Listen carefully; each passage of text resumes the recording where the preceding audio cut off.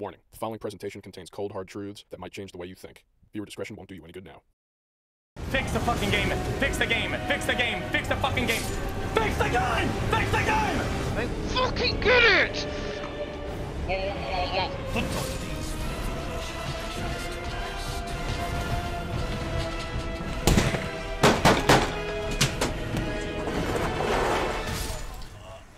I'm pressing control. Fuck! Man. I love this shirt. You know, I think the only thing more difficult than playing From Software's newest game is just saying there's a new game from From Software. Yes, I have been here with you playing Elden Ring this whole time.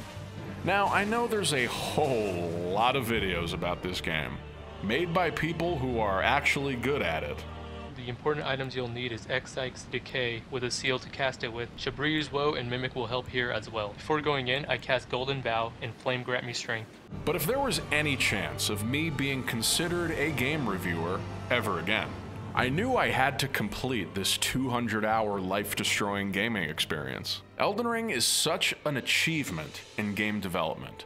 It is something every gamer should experience, but not one that every gamer should play. Tilt your head in intrigue now. This is a typical From Software release, and probably the largest Dark Souls esque game that we've seen yet. If you are watching this video and actually don't know what Dark Souls is, I'd be happy to define it right here for you. Hard. Now, back when Dark Souls first came out, that was probably during the era where I was playing the least amount of video games. For me, it was more the uh, doing mushrooms era. And personally, I give the Soulsborne series an F for forget it. When I found out that Elden Ring was written by George R. R. Martin, I said, alright, there's two things I'm not a fan of and couldn't care less about. Having not seen a single episode of Game of Thrones, or ever having finished a Souls game, I thought nobody has less business playing this game than I do. And this is one of the most incredible games I have ever played. This is the new Skyrim. What the fuck is Elder Scrolls gonna do now? Bethesda is done. It's over. This is up there. You know what I mean? Breath of the Wild, Red Dead 2, whatever you think the best game ever is, put this on the list. The graphics are stupid. The art direction is impeccable. The combat is one big ball of holy shit. The open world is brilliantly laid out and ripe with exploration. This is an adventure that is impossible to forget. Mainly because the game is harder than this fossilized dinosaur turd, which is also one of the weapons in this game. As with other games made by From Software, getting hit in this game is like being in a car accident followed by a massive hospital bill. And dying in this game is like having your entire bank account drained. This game is so hard that when you die, you actually have to start from the beginning of the first Dark Souls game and play through the whole saga just to get back to where you were. This game is so hard that when you die, the game deletes itself from existence and you have to reprogram the game yourself, learn the Unreal software, release the game on your own just to continue the game. This game is so hard that when you die, a guy actually comes to your house and shoots you and kills you in real life. The premise of this game is simple you die. I spent most of this game shitting my pants. I'd be creeping around corners while carrying way too many runes and constantly debating whether I should go grind or not. It was a weird mix of stressful and exciting. It's like walking around a bad neighborhood with your entire life savings in a neon fanny pack. Now, the internet was not about to take this game's difficulty at face value. It got together and said, No, Elden Ring, we will break you. Whether it's cheap farming exploits or just an entire mod for easy mode, plenty of people have made it pretty clear. that they don't know how to play this game. Now, I am not saying that I'm good at this game by any means. Just the fact that Hoarfrost Stomp appears on the screen throughout most of this video should give you an idea of how good I am. But I do know that this is a massive game with a shit load of helpful items and abilities that the game does not tell you about. And if you do take advantage of all the systems at your disposal, the game does become slightly easier. Now, there's something I want to address here. This game has become a sort of cock measuring contest. I mean, look, I highly respect all the speedrun videos out there where people try to beat the game without dying once. These are incredible. But that is not how normal people should approach Elden Ring. I didn't play this game to prove anything. I played it to enjoy it normally, like any other game. But I do think this game is so fucking legendary. Naturally, it should inspire the most insane completion methods and speedrun attempts imaginable. People like Elden Ring videos. You'll usually see comments on these videos like, this was a brilliant story full of overcoming adversity, or gee, this is a really epic video, or something you're not known for but would love to see more of. There will be no brilliant story in this video. I didn't turn my experience of playing this into a 400 page novel. I fucking love this game till no end. But this was one big blur of death and tears. And this will be just as, if not more idiotic than all my other entries. So let's finally review this game. Elden Ring is a game that is totally open world from pretty much the get go. You start with nothing but useless tinker toys. You're weak, you're shitty. You literally cannot take a walk in a park without getting anally turned inside out. But slowly, you find weapons. You start leveling. You get your runes, get your sacred tears, your golden seeds. You upgrade. And then you realize it's still too fucking hard. So you cheat a little bit. You squeeze a couple of exploited runes out of the game. And then you're sort of better.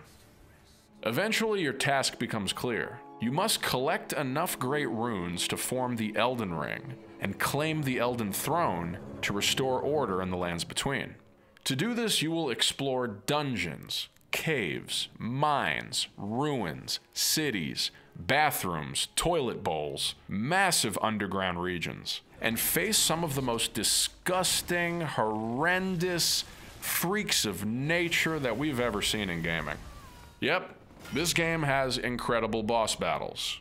They're always doing weird, gross things, removing their limbs, adding other limbs, morphing into some kind of Siamese, you know, basket case shit. A lot of people have told me personally that they're afraid to play this game because they heard it contains the hardest boss battles known to man. Most of the mandatory bosses in the game have some kind of super cheesed, easy way of beating them. I think some of these could be intentional hidden weak spots. Others are definitely bugs. But hey, if I can make it through these guys, so can you. I'm fucking terrible. What I really had a hard time with is how confusing some of their names are. You got Godrick the Grafted, Godfrey the First Elden Lord, and then Godefroy the Grafted. The worst is confusing Melina with Malenia. I was talking to some friends, and one person was like, You killed Melina? What? But she's so nice. Now, one thing that also might intimidate people about this game is the sheer amount of items there are. Holy moly, dude. I feel like at some point they gave up on categorizing some of these items. I don't know. I'm constantly getting an item and then being like, what fucking category is that in? is that a talisman or a consumable? I don't even remember what it was called now. Shit. What am I even looking for here? You'll want to save everything until you know what everything does. For example, perfume bottles are important but really finite and hard to come by. So don't go using them willy nilly on shit you don't even need. You'll at least want that blood boil aromatic thing that savant dude was mentioning earlier. Now, I think the most successful aspect of Elden Ring is the open world itself. For a game of this size, there is a noticeable, refreshing lack of handholding. This is not one of those follow the waypoint, boring bullshit experiences that we've grown very sick and tired of. This game forces you to explore and pay attention to your surroundings. And with such a massive world to cover, it's surprising that with almost no direction, you still feel like you're always finding new things. Every area contains different enemies, and I never saw too much of one enemy. The game always keeps it fresh. My favorite level in this game is probably Elphael Brace of the Haligtree. It looks incredible, and the enemies really make you work for it. And they also look incredible. My least favorite level in this game is anything with this Chariot of Death thing. Some sick ass motherfucker came up with this thing. Holy crap, dude.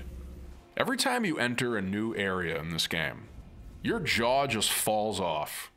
I remember when I first saw Altius Plateau. This was the moment when I realized, yeah, I'm breaking up with my girlfriend. I'm telling you, this game takes so long to beat and it will take up so much of your time. If you're in a relationship or are trying to start one, you're gonna you're gonna have to make some big decisions here. It took me 140 something hours to beat this game. I took my sweet time with it, which really means I grinded for 140 hours. Don't judge me. I have a long ass health bar. My health bar is so long it goes off the screen and bleeds into the neighbor's TV. And they're knocking on my door and asking me, hey, do you know what this red line is on my screen? And I say, sorry about that. I really overgrinded an Elden Ring. If you see a player that has a health bar this long, it does not mean that they're good at this game. Just means they did a pathetic amount of grinding. Speaking of pathetic, let's talk about you invaders. All you people who invade other players, your penises are so microscopic. I don't have a second part to that. Just your penises are microscopic. It's always funny when you're playing in a group and someone tries to invade you and just fails miserably. Oh, really? Yeah? Hmm. Bet you're regretting this move. Yep. Sorry, Perry the prisoner. And now you're gonna die wearing that stupid little hat. How does it feel? I was really disappointed when I found out that a lot of these invaders that I've killed were not real people, but NPCs. Well then, I'm just gonna go cross a few names off of a list here. Also, while we're on the subject of pathetic, let's talk about the summoning debate. Elden Ring lets you summon other players into your world to help you get through difficult moments in the game. And some people consider this the unpure way of playing the game. I didn't start summoning other players for help until Maliketh the Black Blade. And not because I didn't need to or because I was trying to beat the game solo. That's just how long it took me to figure out how to summon. And I really don't feel bad summoning people either, because this game is a joy to play with other people, especially the fight with Malenia. There's nothing like getting her in that triangle of pain. It's like we're all doing a dance or something. I don't know, there's something really magical about fighting these bosses in co op and experiencing these insanely epic moments with other people. And the best part about it is that the game immediately boots people out of your world after they help you finish a boss. It's like the game knows that I only want to use these people for their talents and not have to hang out with them afterwards. But the co op in this game is equal parts impressive as it is frustrating. It's basically just meant for the bosses, I think. You can try to play the rest of this game with people, but it's honestly a giant pain in the ass. You can't use your horse, you can't fast travel, can't enter other areas when you're with other players. To do these things, you need to continuously exit and re enter the other player's world. The worst is not being able to use a grace point. I'm sorry. It's like not being able to use the bathroom while you're at work and having to go home and come back every single time. But you know, I have grown to appreciate the signs left by other players that literally litter this game. At first, I found these ugly as shit. It's like people just left a bunch of glowing white turd logs everywhere. But this world is so huge that sometimes it's nice to see that someone else has been in this same spot. This might save you some wasted minutes here and there. And also, people do some hilarious things with these signs. Look at this. People were riding their horse way out there, seeing how far they could jump. Like some kind of pole vaulting or bocce ball mini game. That's really cute. That's really cute. Speaking of random things, this game has some of the best object breaking I've ever seen. I feel like the physics of broken pieces of wood drastically outweigh the physics of horse traversal and platforming. I know that was a weird segue. I don't know. I wouldn't say this game has clunky movement per se, but sometimes my character just goes berserk. They'll go in directions I didn't even think anyone would conceive of going in. It's not great. In fact, I'm pretty sure I've died more times in this game from falling than from being killed by an enemy. This is a fall heavy game. More than half the game takes place on skyscraper crossbeams like that old photo from the 30s. I don't know, dying by falling just leaves you with no dignity. At least when you get killed by an enemy, it's like, whoa. I got ripped apart by something very cool looking. I am not as mad. I will not lie to you. There is a reason you haven't seen a review from me in ages. I just haven't been that impressed with gaming lately. There hasn't been anything recently that makes me think, wow, I need to lend my voice to that. This was the game I needed right now. If a game doesn't destroy my entire life, I have no interest. Elden Ring is such a work of magic that it restored my faith in gaming. The game is far too time consuming for most sane people, but maybe that's a huge part of the magic. Ever since the first second, I could not put this thing down. I needed to witness everything in it, just so I can behold the extent of these developers' imaginations. It just has that pull on you. This is a total gateway into Dark Souls, which I'm told is one of the greatest gaming franchises ever. And Elden Ring didn't just help me understand why Souls games are good, it also reminded me why I play video games. By the end of this game, I did become a dragon slaying, god killing, antichrist bludgeoning, professional demon fucker. And I think I can finally take on the rest of the Soulsborne series.